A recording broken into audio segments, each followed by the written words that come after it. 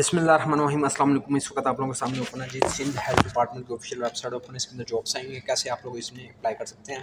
Qualification कितनी चाहिए? Experience कितना चाहिए? लास्ट डेट की कंप्लीट डिटेल आप लोगों से शेयर करूँगा। मेरे से जुड़े रहे वीडियो का क्लास में देखिएगा।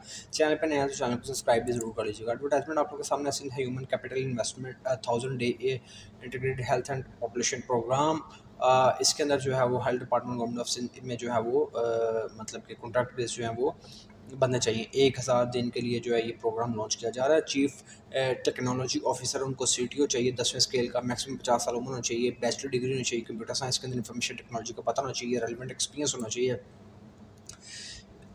इसके अलावा बात कर लेते हैं आई टी ऑफिसर की।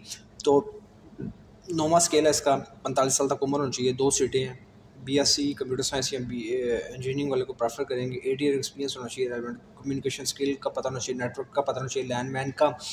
टोपोलॉजीज़ का पता होना चाहिए एबिलिटी होनी चाहिए टेक्नोलॉजी और सॉफ्टवेयर को समझने की उसको हार्डवेयर का पता होना चाहिए। कंप्लीट जो है वो इस पे आईटी पे काम करना जानता हो। डाटा प्रोसेसिंग ऑफिसर की बात करें, नौवा स्केल है, पैंतालीस साल तक उम्र है, दो सीटें हैं, इसमें भी ग्रेजुएशन कंप्यूटर साइंस के साथ मांगी हुई है।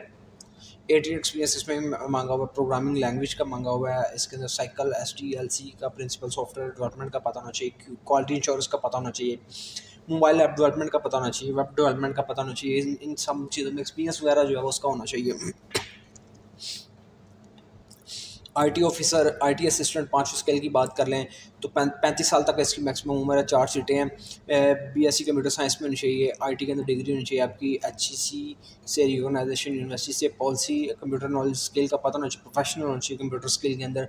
स्ट्रॉन्ग नॉलेज होना चाहिए एमएस ऑफ़िस का सॉफ्टवेयर से पता होना चाहिए, और कम्युनिकेशन स्किल जो है वो अच्छा होना चाहिए, और न्यू सॉफ्टवेयर लर्न करने की एबिलिटी भी होनी चाहिए। इंटरेस्टेड कैंडिडेट जो है वो अपनी सी जो है वो सबमिट करवाएँगे अपनी C V H E C verified copies of qualification original experience certificate tested C N S C domicile सब कुछ जो है वो आपने जमा करवाना है। चार सितंबर दो हज़ार तेईस से पहले पहले, और आपने गवर्नमेंट सर्विट है तो आप थ्रू प्रॉपर चैनल अप्लाई करेंगे। इंटरव्यू जो है वो आप लोगों को शॉर्ट लिस्ट कैंडिडेट के कंडक्ट किए जाएँगे। टी वो खर्चा वर्चा वो नहीं देंगे।